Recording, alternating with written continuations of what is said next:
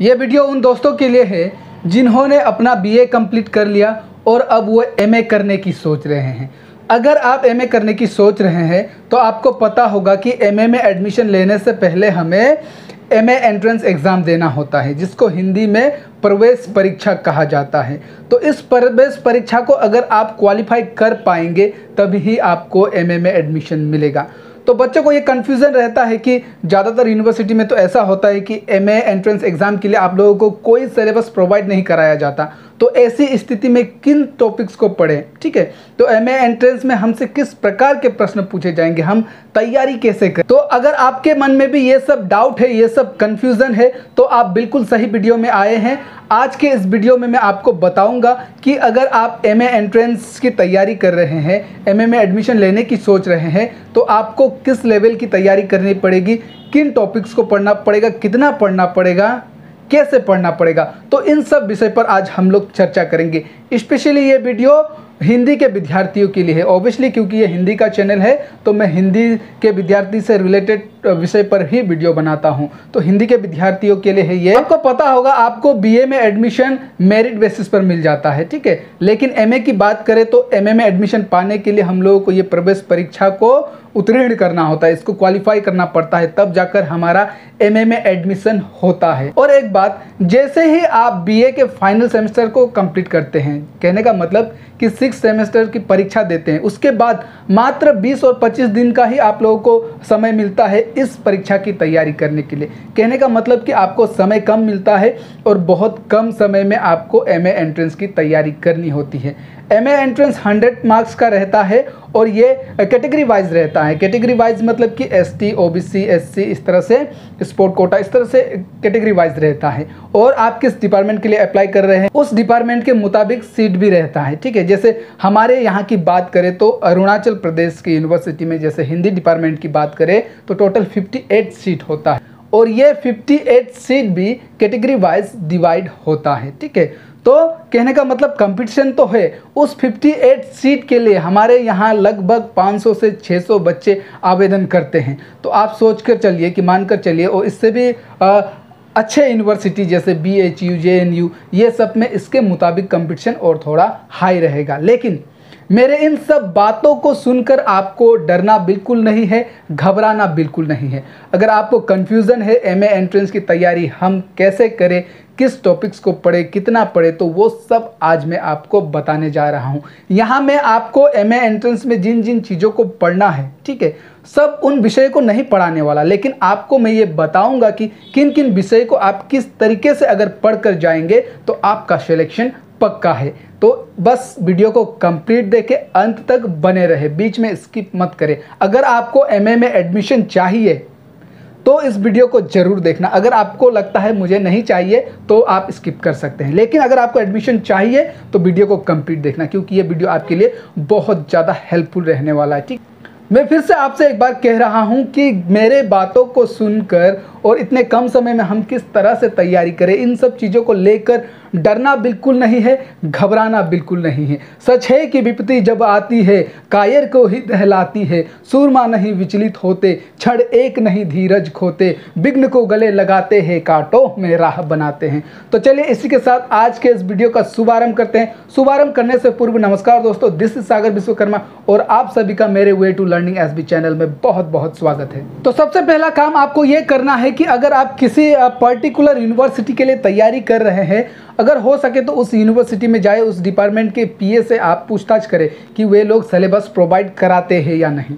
कुछ कुछ यूनिवर्सिटी में सिलेबस प्रोवाइड नहीं कराया जाता कुछ कुछ में कराते हैं। तो ये डिपेंड करता है यूनिवर्सिटी के ऊपर, ठीक है? तो अगर हो सकता है तो आप लोग कोशिश करिए, अगर सिलेबस मिलता है तो क्या बात। अगर नहीं भी मिलता है, अगर आपको सिलेबस नहीं दिया जाता है, तब भी घबराने की बात नहीं है। मैंने जब एम एंट्रेंस दिया था तब मैं भी यहाँ की यूनिवर्सिटी में गया, वहाँ के पीएस से जब मैंने बात की तो उन्होंने मुझे सिलेबस दिया था। हालाँकि सभी को नहीं दिया, क्योंकि हम लोगों ने, हम लोगों का लिंकअप था तो हम गए तो हमें सिलेबस दिया गया था और उन्होंने मुझे प्रीवियस ईयर का पेपर भी दिया था। लेकिन उस पेपर को मैं नहीं ढूंढ पाया, आज आपके सामने नहीं ला पाऊँगा, क्योंकि वो कहीं खो गया है। लेकिन सिलेबस है मेरे पास तो उस सिलेबस के मुताबिक आज मैं आपको बताने वाला हूँ कि हमें क्या क्या पढ़ना है। तो आप सोच रहे होंगे कि इस सिलेबस से हम दूसरे यूनिवर्सिटी के लिए कैसे पढ़े? तो मैं आपको बता दूँ कि यूनिवर्सिटी चाहे कोई भी हो आपको इन्हीं सब सिलेबस से आज मैं आपको जो दिखाने वाला हूँ उन्हीं सिलेबस से ही प्रश्न पूछा जाएगा। और प्रश्न कहाँ से पूछा जाएगा? जो आपने अपने बीए लेवल में पढ़ा है जिस सब्जेक्ट में आपने मेजर लिया है तो उस सब्जेक्ट के सब्जेक्ट में आपने बीए में क्या क्या पढ़ा है वहीं से आपको प्रश्न पूछे जाएँगे। इसके लिए अलग से आ, आ, पेपर से अलग से, विषय से आपसे प्रश्न नहीं पूछा जाएगा। इसलिए मैं कह रहा हूँ कि घबराने की आवश्यकता नहीं है। बीए में अगर आप हिंदी में हिंदी में आपने मेजर किया तो बीए के फ़र्स्ट सेमेस्टर से लेकर सिक्स सेमेस्टर तक आपने किन किन विषयों को पढ़ा किन किन टॉपिक्स को पढ़ा, वहीं से आपसे प्रश्न पूछा जाएगा। तो आप साइट पर देख सकते हैं, मैं सिलेबस आपको दिखा रहा हूँ। ये वो सिलेबस है जब हमने अपना एमए एंट्रेंस दिया था और इसी सिलेबस को पढ़कर हमने एमए एंट्रेंस एग्ज़ाम में हम क्वालिफाई हुए थे। तो आप देख सकते हैं सिलेबस आपके समक्ष है। और इन सिलेबस में जो जो विषय दिया गया है, वहीं से आपको आपके परीक्षा में प्रश्न पूछे जाएँगे। तो सबसे पहला क्या है? हिंदी साहित्य का इतिहास, जिसको आपने बीए में ज़रूर ही पढ़ा होगा ना? उसके बाद दूसरा है, भारतीय काव्य शास्त्र उसी के अंतर्गत फिर आ जाता है, पाश्चात्य काव्य शास्त्र ठीक है? पाश्चात्य काव्य शास्त्र को भी पढ़ना है, उसके बाद साथ में तीसरा विषय है भाषा विज्ञान। फिर चौथा है प्रयोजन मूलक हिंदी। तो देखा आपने सिलेबस हिंदी साहित्य का इतिहास काव्य शास्त्र फिर भाषा विज्ञान और प्रयोजन मूलक हिंदी। तो इन्हीं चार विषयों से आपके एमए एंट्रेंस की परीक्षा में प्रश्न पूछने वाले हैं। तो आप यहाँ पर सिलेबस देखकर आपको घबराहट हो रही होगी कि सिलेबस जो है इतना बड़ा है और हमारे पास समय जो है वो बहुत कम है। तो ऐसी स्थिति में हम कैसे पढ़े?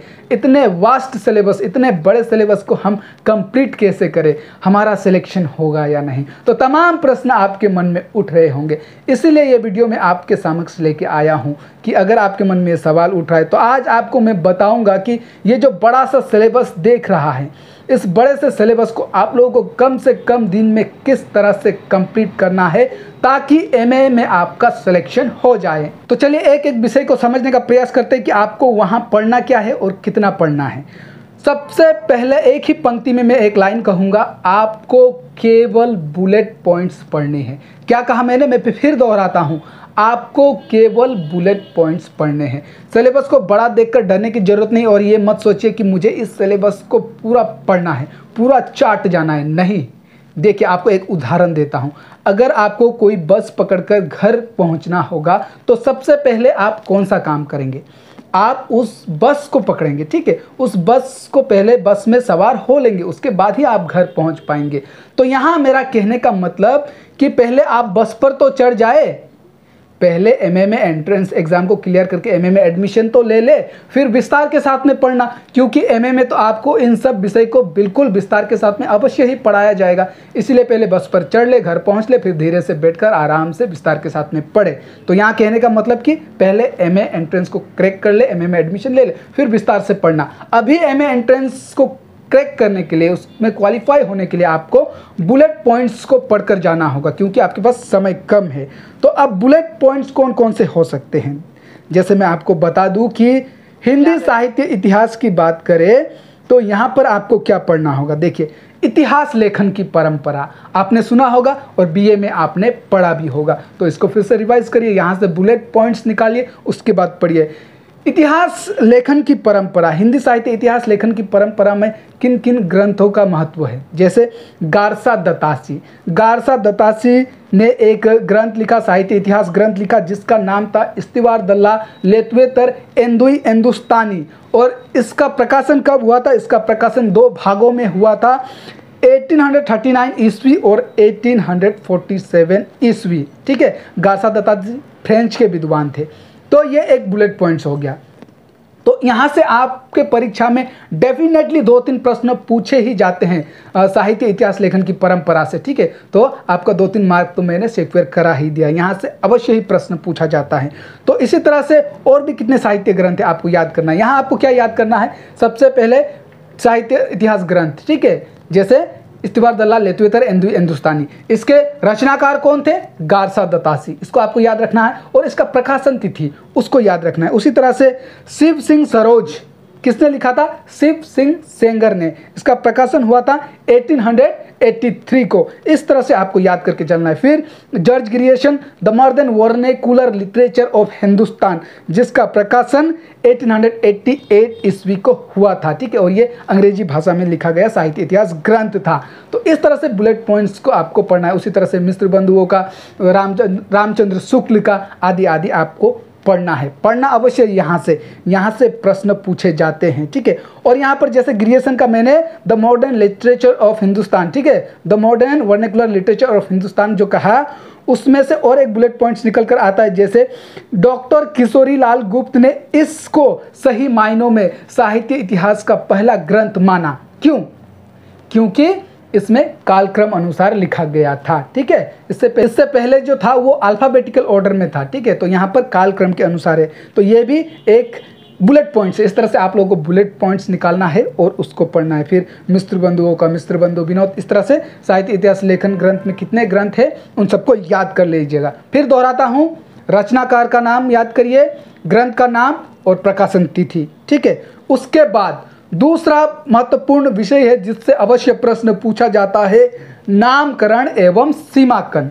ठीक है? आपने पढ़ा होगा बीए में इसको भी तो कठिन, कठिनाई की बात नहीं है, घबराने की भी बात नहीं है, बिल्कुल पॉजिटिव रहे ऑल इज़ वेल ठीक है? नामकरण एवं सीमाकन आपको पढ़ना है। मतलब कि हिंदी साहित्य को कितने भागों में बांटा गया? आदिकाल भक्तिकाल रीतिकाल उसके बाद आधुनिक काल। ठीक है? और इन चार भागों में बांटने के बाद फिर जैसे आदिकाल में भी कई साहित्य हमें देखने को मिलता है भक्ति काल के भी निर्गुण काव्य धारा सगुण काव्य धारा फिर निर्गुण को दो उपकाव्य धाराओं में बांटा गया, सगुण को दो उपकाव्य धाराओं में बांटा गया। उसी तरह से रीतिकाल है, ठीक है, फिर आधुनिक काल आधुनिक काल में भी भारत, तेंदु युग, छायावाद, द्विवेदी युग, इस तरह से तमाम युग है, उन सबको पढ़ना है, मेन मेन चीज़ों को पढ़ना है।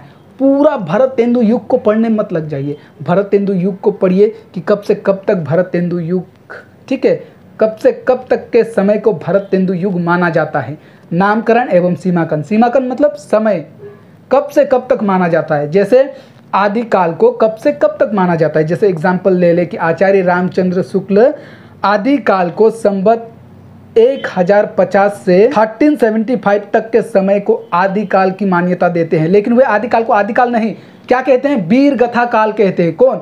आचार्य रामचंद्र शुक्ल आदिकाल को वीर गथा काल कहते हैं। तो ये बुलेट पॉइंट्स है इसी तरह से आपको किन किन रचना साहित्य इतिहास ग्रंथ के रचनाकारों ने क्या क्या नाम दिया? किस काल को क्या नाम दिया? कौन सा समय सीमाकन दिया? उन सबको आपको याद करना है। जैसे आदिकाल को मिश्र बंधुओं ने आरंभिक काल कहा, वही हजारी प्रसाद द्विवेदी ने आदिकाल कहा, जिस नाम से आज हम लोग पढ़ रहे हैं। उसी तरह से इसके याद करिए, उसके बाद सीमाकन को। कौन से समय से कौन से समय तक उसको, उस काल को मान्यता दी जाती है? तो इस तरह से आप लोग को बुलेट पॉइंट्स को याद करके चलना है। तो होप कि आप लोग पढ़ लेंगे। उसके बाद नेक्स्ट है कि रचनाकार एवं उनके द्वारा लिखे गए रचनाएँ, ठीक है? जैसे अभी मैंने कहा आदिकाल।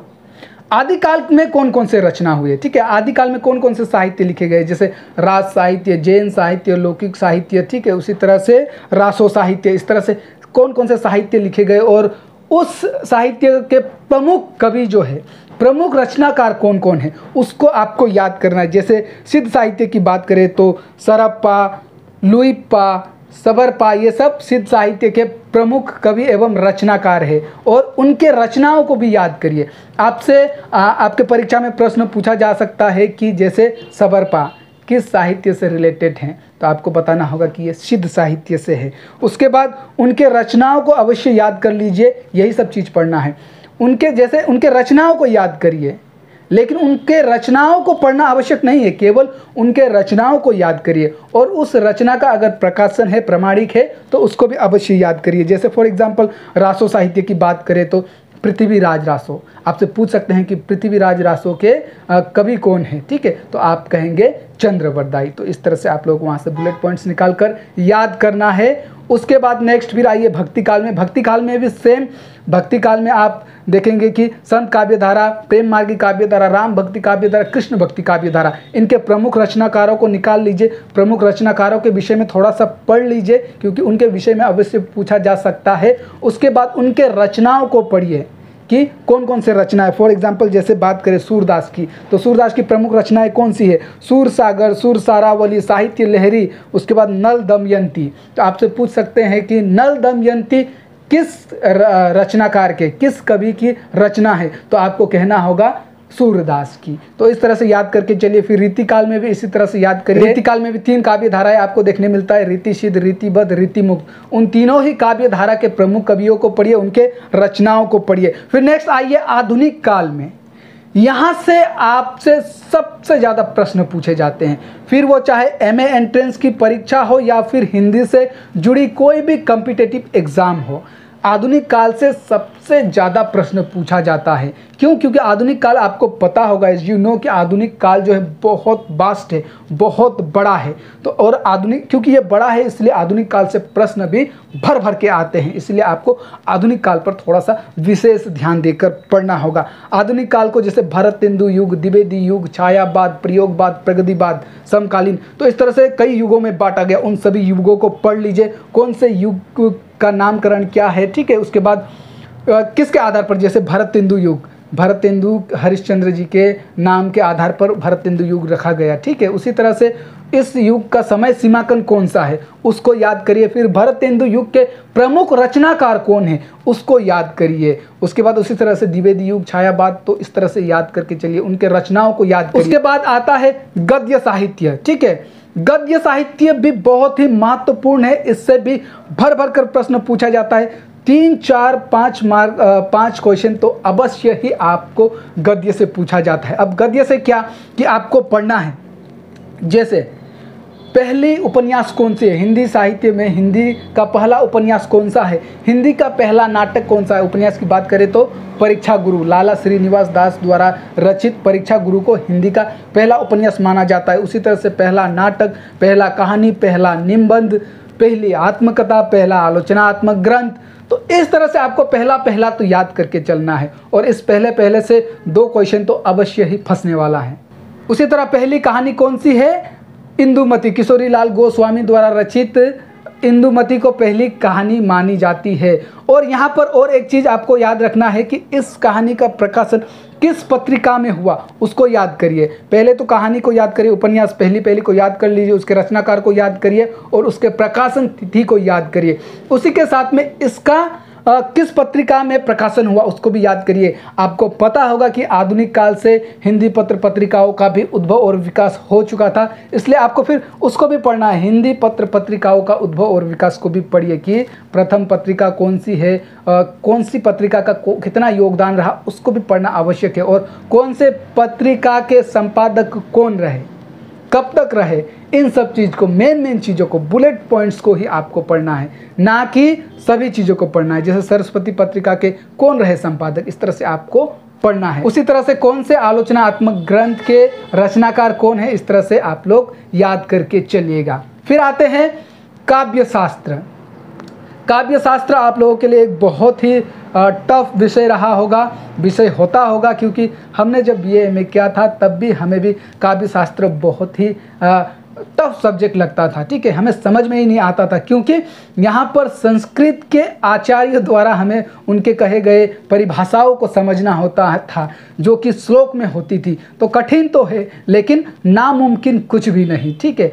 इसीलिए मेरा ये चैनल है कि आप लोगों को कठिन से कठिन सब्जेक्ट को, कठिन से कठिन विषय को आसान से आसान तरीके में, आसान से आसान भाषा में किस प्रकार से समझाओ मेरा उद्देश्य यही है। क्योंकि हम जब बीए में गए थे तो टेन ट्वेल्व तक होता क्या था कि हम लोगों को ज़्यादा से ज़्यादा, अधिक से अधिक लंबा क्वेश्चन का आंसर कितना लिखना होता था? पाँच लाइन। तो पाँच लाइन के आंसर को हम लोग रट्टा मार के चले जाते थे, उसको मेमोराइज करके चले जाते थे, लेकिन जैसे ही हम बीए में पहुँचे तो पता चला कि एक ही प्रश्न जो है वो पंद्रह पंद्रह मार्क्स का रहता है। और पंद्रह मार्क्स के क्वेश्चन के लिए हम लोगों को लगभग चार पाँच पेज का उत्तर लिखना होता है। अब सोच के देखिए, चार पाँच पेज का उत्तर को याद करना कितना कठिन है। कहाँ पाँच लाइन लिखा करते थे और कहाँ यहाँ पाँच पेज लिखे। तो यहाँ पर हम लोगों को चीज़ों को समझकर जाना होता है, ना कि रट्टा मारकर। कुछ कुछ चीज़ें ऐसे होते हैं जिसको उदाहरण सहित हम लोगों को याद करना पड़ता है, वो तो कर ही लिया जाता है। लेकिन ज़्यादातर हम लोग को चीज़ों को समझ कर ही अपने भाषा में लिखना होता है। तो काव्य शास्त्र एक महत्वपूर्ण और सबसे टफ विषय है। इस पर भी आपको केवल बुलेट पॉइंट्स को ही पढ़ना है। आपको पता होगा काव्य शास्त्र में छः संप्रदाय हमें देखने को मिलता है। कौन कौन से रस संप्रदाय, अलंकार, रीति, ध्वनि, वक्रोक्ति और औचित्य? ठीक है, संप्रदाय, सिद्धांत। आपको कंफ्यूजन नहीं होना है, संप्रदाय और सिद्धांत दोनों एक ही चीज़ है, दोनों अलग अलग चीज़ें नहीं है। तो आपसे रस संप्रदाय के प्रवर्तक पूछ रहे हो या रस सिद्धांत के? बात घुमा फिरा कर एक ही है। तो इन छह संप्रदाय के प्रवर्तक को अवश्य याद कर लीजिए। यहाँ से दो प्रश्न श्योर आने वाला है। तो यहाँ भी आपको दो मार्क की मैंने गारंटी दे दी। जैसे रस संप्रदाय के कौन है? आचार्य भरत मुनि, अलंकार संप्रदाय के आचार्य, बामा, रीति संप्रदाय के आचार्य बामन। बामा और बामन, दोनों में भी कंफ्यूजन होता है। देख लीजिए कि अलंकार का बामा है, उसके बाद रीति के बामन है। ध्वनि के आचार्य आनंद वर्धन, वक्रोक्ति के आचार्य कुंतक, औचित्य के श्रेमेंद्र। साइड पर आप देख सकते हैं, नोट भी डिस्प्ले हो रहा है। इन, इसको तो याद करके रखिए। इसको केवल एंट्रेंस एग्ज़ाम के पॉइंट ऑफ़ व्यू से नहीं, इसको लाइफ टाइम याद करके रखिए। जब तक आप पढ़ रहे हैं, पढ़ने के बाद अगर आप शिक्षक बन जाते हैं, आप दूसरों को पढ़ाते हैं, तब भी ये काम आने वाला है। इसको चाट कर रख लीजिए एक प्रकार से, ठीक है? तो इन संप्रदाय के प्रवर्तक को याद करिए, उसके बाद इन संप्रदाय को मात्र नहीं पढ़ना है। इसके अलावा, जैसे रस संप्रदाय, आचार्य भरत मुनि, उनके अलावा भी बहुत सारे ऐसे आचार्य हुए जिन्होंने रस का समर्थन किया। उनके विषय में भी पढ़िए, ठीक है? और इन लोगों ने इस संप्रदाय को लेकर क्या परिभाषाएँ दी, उसको याद करना आवश्यक है। उससे आपसे प्रश्न पूछा जा सकता है। जैसे रस संप्रदाय की बात बात करें तो आचार्य भरत मुनि कहते हैं कि विभाव नुभाव व्यवचारी संयोगात रस निष्पत्ति।